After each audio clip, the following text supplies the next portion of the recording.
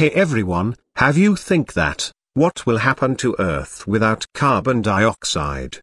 Watch further to know more about carbon dioxide emission. Carbon dioxide is known as a greenhouse gas, that absorbs, and emits thermal radiation, creating the greenhouse effect. In this video, we have taken CO2 emission from fossil fuel and cement production. United Kingdom was the world's first industrial-scale carbon dioxide emitter,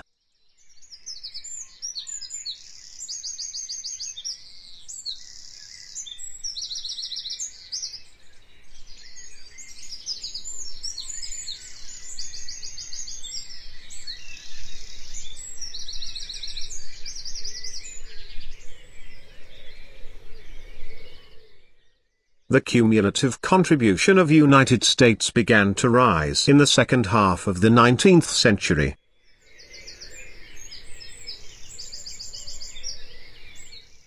It took us almost 70 hours to make this video for you. Please like and subscribe. It will take you only 2 seconds. In general, developed countries and major emerging economy nations lead in total carbon dioxide emissions. According to Dr. Richard Lindzen, removal of all the CO2 from the atmosphere would translate into a global cooling of about 2.5 degrees Celsius.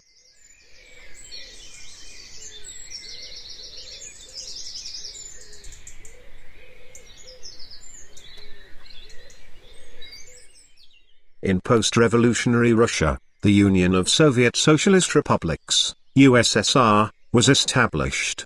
USSR was comprising a confederation of Russia, Belorussia, Ukraine, and the Transcaucasian Federation.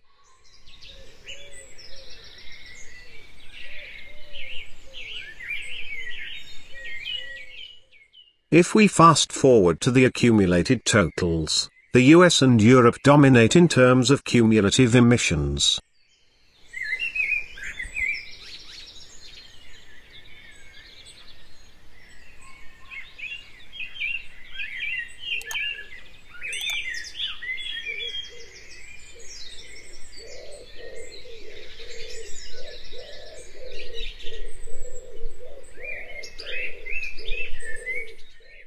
Since the Industrial Revolution, Energy-driven consumption of fossil fuels has led to a rapid increase in carbon dioxide emissions disrupting the global carbon cycle and leading to a planetary warming impact.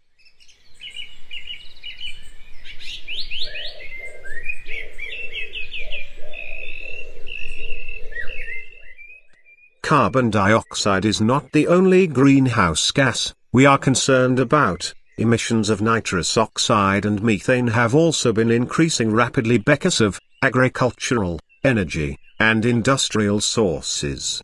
Like carbon dioxide, the atmospheric concentration of both of these gases has also been rising rapidly.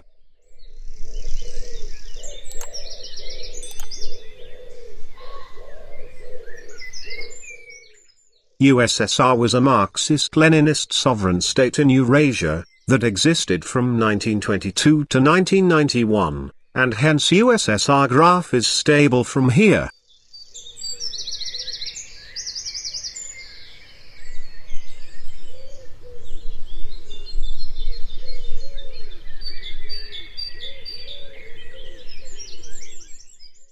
China's rapid growth in emissions over the last few decades now makes it the world's second largest cumulative emitter, although it still comes in at less than 50% of the US total.